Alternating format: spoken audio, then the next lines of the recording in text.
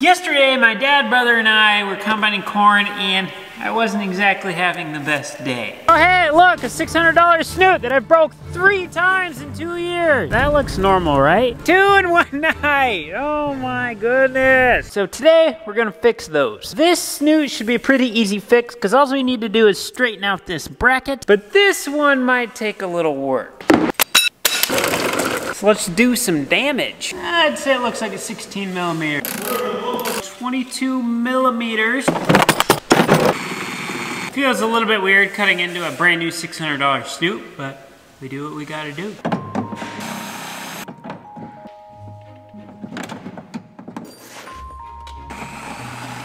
In theory, all I had to do is trim this out a little bit so that we had a big enough hole to get this to sit in there. This must be a new type of casting because when I stick my fingers under here, I can hit the back side of it with the tip of my middle finger. But the old one over here is about an inch deeper. Why can't stuff just be easy? Good job, Dad. Looks good as new. Now, I suppose I can look past this little bend here. I'll just take it out of your paycheck. Last night they were talking 100% chance of rain. We thought today'd be a good day to service things. I dropped the engine oil last night, then it doesn't rain. I found a round-headed bolt, so hopefully we'll have a little more clearance in there. I just took a little corn out of that bin there. I'm gonna test it, see how the dryer did yesterday. The dryer might be old, but boy, I tell you what, last year we dried a lot of corn with it and it did a pretty dang good job. Got everything put back together, got out to the field, and then I got to put my head down and it's still not working. For some reason, we're not getting voltage. Dad, what'd you break it? We should go and do a calibration. We get a fairly level spot. Okay, and then I just follow the directions of the calibration. You put Cole in the seat and things just go south. So about time to put Sable in there. It is almost six o'clock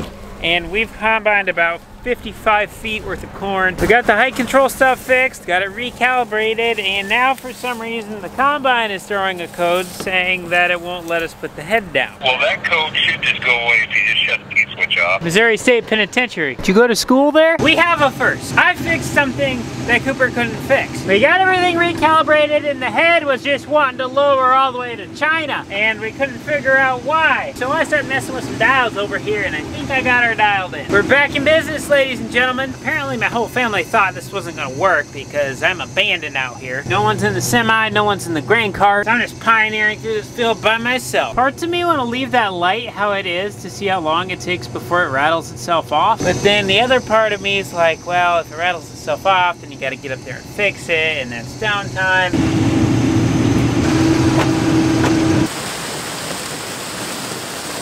This is kind of spots we're getting into. It may not be the prettiest, but we just felt we wanted to give it our good try. The insurance is not like a good crop.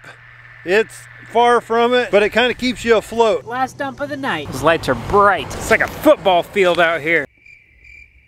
We're gonna see Pete's professional backup skills. Good morning, Pete.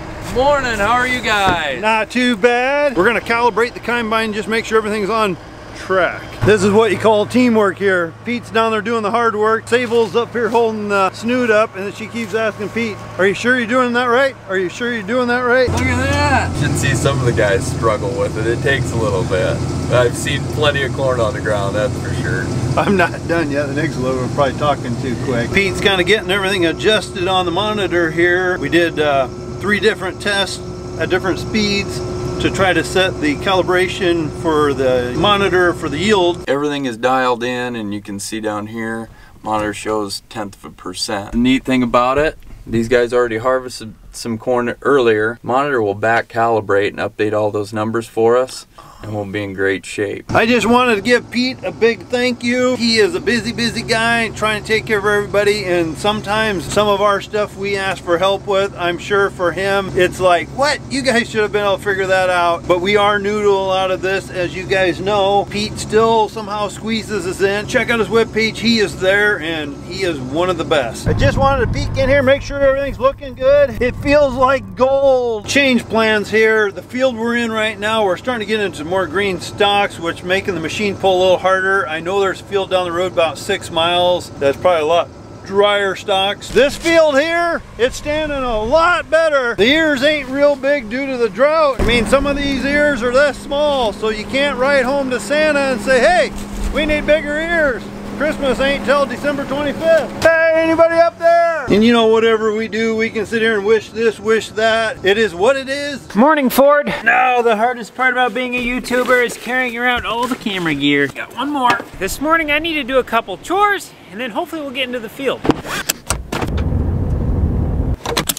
I had to head down to my parents to bum the internet because mine's not working and I need to make a thumbnail. Let me tell you what, super interesting process. Not really. Oh hey, found a wrench. That was pretty quick and painless. Actually, it wasn't quick at all and it was kind of like pulling teeth. Now I'm here in the shop. I need to make a mounting bracket on the bottom of this GoPro stand so that way I can mount a magnet on here and then I can stick this in some super dangerous spots. That way we can get some awesome shots. If anybody recalls, last year I had something really similar to this, but so this year we upped the ante a little bit and we bought ourselves a 330 pound neodymium magnet. Red Loctite. Moment of truth. Do you want to try it? That's really cool. When did you make this? Did you just order this? No, I just made it. You made it? Oh no. Neva, you broke it. I'm so sorry. I'm so sorry. Now I just gotta put a longer bolt in there. This one's not threading in how I want it to. Okay, let's try it again. Neva. Oh, what the heck?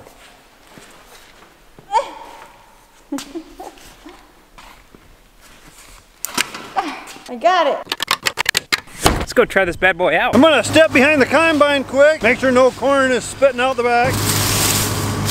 She looks pretty good actually. You remember when you were like seven and your front teeth were just barely hanging on? That's what this reminds me of. Looks like me and Cole are gonna switch spots now, so when Grandpa John gets tired, I can switch with him and drive the semis. Oh, hey Dad. Hey there, Cole. Made a few rounds across the field, see if the GoPro's still up here. Yep, new magnet's working. While I'm out here, I'm gonna open up the rock trap quick. What the rock trap is, is a little pocket inside the throat, so in case we suck up a rock, it's supposed to fall in there before it goes through the combine. And yeah, that is strong, oh boy. All right, Dad, stick it where you want and try pulling it off. Jeez. Hey, Grandpa John. You show up and you break down again. Can't make anyone happy around here. Second shift here, huh?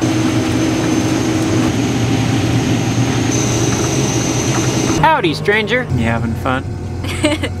Yeah, I'm always having fun. The real question is, are you having fun? Well, if the corn wasn't yielding 129 and a half bushels an acre, I would feel a little bit better about it, but overall, not too bad. Well, whose fault is that? Sables. Sadly, we're gonna call it a night. We still have 100 acres left in this field, but all of these require crossing little waterways that have big holes in them in random places, and I don't really feel like doing that at night. Cole's just not that good of a driver like me. That's why he's not doing it.